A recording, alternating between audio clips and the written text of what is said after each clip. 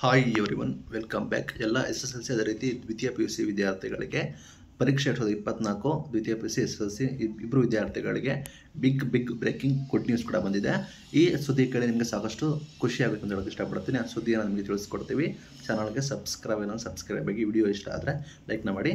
ಸರ್ಕಾರ ಈ ಹಿಂದೆ ಒಂದು ನಿಯಮ ತಂದಿತ್ತು ಆ ನಿಯಮವನ್ನು ಕೂಡ ತಿದ್ದುಪಡಿ ಮಾಡಿ ಅಫಿಷಿಯಲ್ ಆಗಿ ಅನೌನ್ಸ್ಮೆಂಟ್ ಕೂಡ ಮಾಡಿದೆ. ಬೇಕಾದರೆ ಪ್ರೂಫ್ ಬೇಕಾದ್ರೆ ಡಿಸ್ಕ್ರಿಪ್ಷನ್ ಹಾಕಿರ್ತೀನಿ, ಹೋಗಿ ನೋಡ್ಕೊಳ್ಳಿ. ಏನಂದರೆ, ನಿಮಗೆ ಗೊತ್ತಿರೋ ಹಾಗೆ ಈ ಹಿಂದೆ ನಿಮಗೆ ಸರ್ಕಾರ ಕಡ್ಡಾಯ ಮಾಡಿತ್ತು ಏನಂದರೆ, ಮೂರು ಮೊದಲನೇ ಪರೀಕ್ಷೆ ನೀವು ಕಡ್ಡಾಯವಾಗಿ ಹಾಜರಾಗಬೇಕು ಅಂತ ಹೇಳಿತ್ತು. ಅದೇ ರೀತಿ, ಮೊದಲನೇ ಪರೀಕ್ಷೆ ಕಡ್ಡಾಯವಾಗಿ ಎಲ್ಲ ವಿದ್ಯಾರ್ಥಿಗಳು ಹಾಜರಾಗಬೇಕಾಗುತ್ತೆ.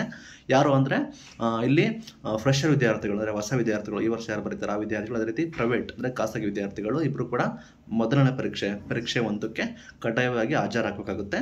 ಇನ್ನು ರಿಪಿಟರ್ಸ್ ವಿದ್ಯಾರ್ಥಿಗಳು ಹಾಜರಾಗೋದು ನಡೀತದೆ. ಆದರೆ ಫಸ್ಟ್ ಪರೀಕ್ಷೆಗೆ ರಿಜಿಸ್ಟರ್ ಆಗಲೇಬೇಕಾಗುತ್ತೆ ಎಲ್ಲರೂ ಕೂಡ. ಫಸ್ಟ್ ಪರೀಕ್ಷೆಗೆ ರಿಜಿಸ್ಟರ್ ಆದರೆ ನೀವು ಸೆಕೆಂಡ್ ಮತ್ತು ತರ್ಡ್ ಪರೀಕ್ಷೆಗೆ ರಿಜಿಸ್ಟರ್ ಆಗಬೇಕು ಆಗೋ ಅವಶ್ಯಕತೆ ಇಲ್ಲ. ಮೊದಲನೇ ಪರೀಕ್ಷೆಗೆ ಕಡ್ಡಾಯವಾಗಿ ರಿಜಿಸ್ಟರ್ ಆಗಬೇಕು ಅಂತ ಹೇಳಿ, ಹೇಳಿದ್ದಾರೆ. ಅದೇ ರೀತಿ ನಿಮಗೆ ಇಲ್ಲಿ ಏನು ರಿಲ್ಯಾಕ್ಸ್ ಮಾಡಿದ್ದಾರೆ ಅಂದರೆ ಈಗ ಎಲ್ಲ ವಿಷಯಗಳ ಪರೀಕ್ಷೆ ನೀವು ಬರೀಬೇಕು ಅಂತ ಇಲ್ಲ. ಇಲ್ಲಿ ಯಾರು ಖಾಸಗಿ ವಿದ್ಯಾರ್ಥಿಗಳು, ಅದೇ ರೀತಿ ಫ್ರೆಶರ್ ವಿದ್ಯಾರ್ಥಿಗಳು ಇದ್ದಾರೆ. ಅವರು ಪರೀಕ್ಷೆ ಒಂದಕ್ಕೆ ಹೇಳ್ತಿದ್ದೀನಿ ಪರೀಕ್ಷೆ ಒಂದಕ್ಕೆ ಎಲ್ಲ ವಿಷಯಗಳನ್ನು ಕೂಡ ಬರೀಬೇಕು ಅಂತ ಇಲ್ಲ ಅಂತ ಕ್ಲಾರಿಫೈನ ಮಾಡಿದ್ದಾರೆ. ಎಲ್ಲ ವಿಷಯಗಳನ್ನು ಕೂಡ ಬರೀತೋದ್ರೆ ನೀವು ಆಗುತ್ತೆ. ಮೀನ್ಸ್ ನಿಮಗೆ ಸೆಕೆಂಡ್ ಮತ್ತು ತರ್ಡ್ ಪರೀಕ್ಷೆ ಇರುತ್ತೆ. ಅದರಲ್ಲಿ ನೀವು ಬೇಕಾದರೆ ಮಾಡ್ಬೋದು. ಬಟ್ ಯಾವುದೇ ಒಂದು ಕೂಡ ಬರೀತಲ್ಲೇ ಹಂಗೆ ಖಾಲಿ ಕೂಡ ಬಿಡೋಂಗಿಲ್ಲ. ಅದು ಕೂಡ ನಿಮಗೆ ಗ್ಯಾಪ್ನ ಇರಲಿ ಅಂತ ಹೇಳಿ ಕಷ್ಟಪಡ್ತೀನಿ. ನಂತರ ಮೈನ್ ಮ್ಯಾಟ್ರಿಗೆ ಬಂದರೆ ಇಲ್ಲಿ ಸಿಸ್ಟಮ್ ಆಫ್ ರಿಜೆಕ್ಷನ್ನ ನಿಮಗೆ ಕ್ಯಾನ್ಸಲ್ ಮಾಡಿ ಆದೇಶ ಹೊರಡಿಸಿದ್ದಾರೆ. ಸಿಸ್ಟಮ್ ಆಫ್ ರಿಜೆಕ್ಷನ್ ಅಂದರೆ ಏನಾದರೂ ನಿಮಗೆ ತಿಳಿಸ್ಕೊಡ್ತೀನಿ. ಈ ಹಿಂದೆ ಏನು ಹೇಳಿದ್ರು ಅಂದರೆ ಇಲ್ಲಿ ಯಾವ ಪರೀಕ್ಷೆ ಕೊನೆಗೆ ಬರೀತೀರಾ? ಫಾರ್ ಎಕ್ಸಾಂಪಲ್ ಪರೀಕ್ಷೆ ಒಂದು ಬರೀತೀರಾ ನೀವು? ನಂತರ ನಿಮಗೆ ಪರೀಕ್ಷೆ ಟೂ ಬರೀತೀರಾ? ಅವರು ಏನು ಹೇಳಿದ್ರು ಅಂದರೆ ಈ ಹಿಂದೆ ಕೊನೆದಾಗ ಯಾವ್ದು ಬರೀತೀರಾ? ಫಾರ್ ಎಕ್ಸಾಂಪಲ್ ಪರೀಕ್ಷೆ ಟೂ ಬರೀತೀರಾ? ಅದನ್ನು ಮಾತ್ರ ನಾವು ಕನ್ಸಿಡರ್ ಮಾಡ್ತೀವಿ ಅಂತ ಹೇಳಿದರು. ಈಗ ಅದನ್ನು ತಿದ್ದುಪಡಿ ಮಾಡಿದ್ದಾರೆ. ನೀವು ಬೇಕಾದರೆ ಮೂರು ಪರೀಕ್ಷೆ ಕೂಡ ಬರೀರಿ. ಆ ಮೂರು ಪರೀಕ್ಷೆಯಲ್ಲಿ ಯಾವ ಪರೀಕ್ಷೆಯಲ್ಲಿ ನೀವು ಅತಿ ಹೆಚ್ಚು ಅಂಕ ಗಳಿಸಿರ್ತೀರ ಅದನ್ನು ಮಾತ್ರ ನಾವು ಕನ್ಸಿಡರ್ ಮಾಡ್ತೀವಿ ಅಂತ ಹೇಳಿದ್ದಾರೆ. ಫಾರ್ ಎಕ್ಸಾಂಪಲ್ ಪರೀಕ್ಷೆ ಒಂದಲ್ಲಿ ನೀವು ಐವತ್ತು ಮಾರ್ಕ್ಸ್ ತೆಗೆದಿರ್ತೀರ, ಪರೀಕ್ಷೆ ಟೂ ಅಲ್ಲಿ ಎಪ್ಪತ್ತು ತೆಗೆದಿರ್ತೀರ, ಪರೀಕ್ಷೆ ತ್ರೀಯಲ್ಲಿ ಎಂಬತ್ತು ತೆಗೆದಿರ್ತೀರ, ಎಂಬತ್ತನ್ನು ಕೂಡ ಕನ್ಸಿಡರ್ ಮಾಡ್ತಾರೆ. ಅಥವಾ ಉಲ್ಟಾ, ಪರೀಕ್ಷೆ ಒಂದರಲ್ಲಿ ಎಂಬತ್ತು ತೆಗೆದಿರ್ತೀರ, ಪರೀಕ್ಷೆ ಟೂ ಅಲ್ಲಿ ಎಪ್ಪತ್ತು ತೆಗೆದಿರ್ತೀರ, ಪರೀಕ್ಷೆ ತ್ರೀಯಲ್ಲಿ ಅರವತ್ತು ತೆಗೆದಿರ್ತೀರ. ನೀವು ಯಾವುದೋ ಎಷ್ಟಿದೆ? ಪರೀಕ್ಷೆ ಒಂದರಲ್ಲಿ ಎಂಬತ್ತಿದೆ.